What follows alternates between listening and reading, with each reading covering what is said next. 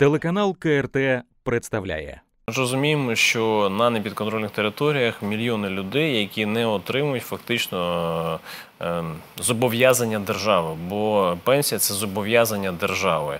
Усі роки вони люди сплачували податки, і держава зобов'язана це сплачувати. Але ми бачимо, що е, схему таку побудували, що пенсію реально отримати дуже важко. І це теж було таке, знаєте, радикальне питання, яке дуже турбувало суспільство. І ми бачимо, що наразі теж в принципі нічого не змінилося. Тобто ми не бачимо якихось дій на зустріч. З чим це зв'язано? Можливо, з тим, що вигідно просто наповнювати бюджет грошами, які фактично не сплачуються у виді пенсії людям на непідконтрольних територіях.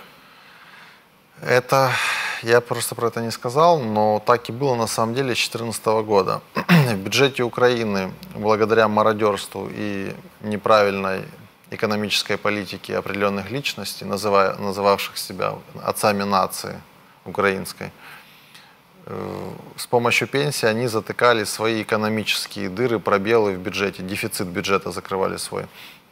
И чтобы вы понимали, нельзя вообще делить области, например, говорить там Донецкая или Луганская имеет какую-то преференцию, ну, к примеру, да, например, над Львовской областью или над Закарпатской областью, поскольку каждая административно-территориальная единица – они равны между собой, ну, с точки зрения закона, права, конституции.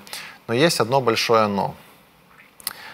Донбасс, в который входит Донецкая и Луганские области, это два самых промышленных региона Украины.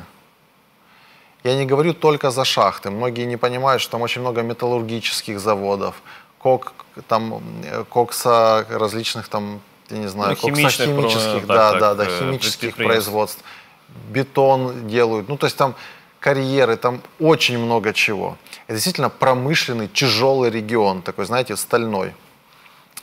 И понятное дело, что условия работы, согласно классификации профессий, трудового кодекса и всего, классифицируются как особо тяжелые.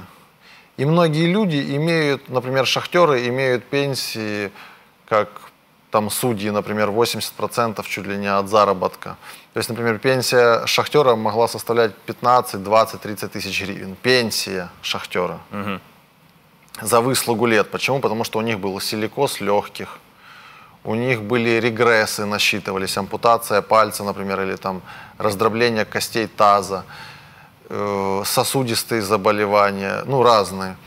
И поэтому пенсия, которая классифицировалась как тяжелая, как работа на тяжелом производстве, начислялась большая пенсия с большим коэффициентом, с двойкой, с тройкой, и плюс регрессные выплаты. И поэтому каждый, просто пенсионер, когда, например, люди говорят, пенсионер, ну что там, бабушка не получает 1500 гривен.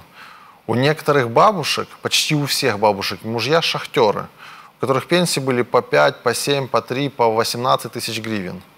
Mm. И эти бабушки по закону имели право, как, так как они были на иждивении своих мужей, они имели право переходить на после гибели этих мужей или смерти, естественной биологической смерти. Mm. Мужей, которые работали на тяжелых производствах, переходить на их пенсию, если пенсия одного из супругов была выше. То есть это не просто обделить целый регион или две области, забрать их пенсии. Это, это тоже миллиарды, и тоже преступления. А это, представьте, вот две области, Луганская и Донецкая области, если у них изъять пенсии, сопоставимы, ну, где-то, например, как с Харьковской, еще и с Полтавской. Это настолько большие деньги угу. за счет э, специфики региона, что властям ничего не оставалось, опять же, это как они так считают, я считаю это преступлением, ничего не оставалось, как с помощью денег, недоплаченных и невыплаченных пенсионерам из Донбасса и переселенцам. Сплачивать кредиты МВФ, например. Сплачивать кредиты МВФ, ну, даже, я бы, я бы сказал, затыкать финансовые дыры там и в кавычках, опять же, пилять деньги –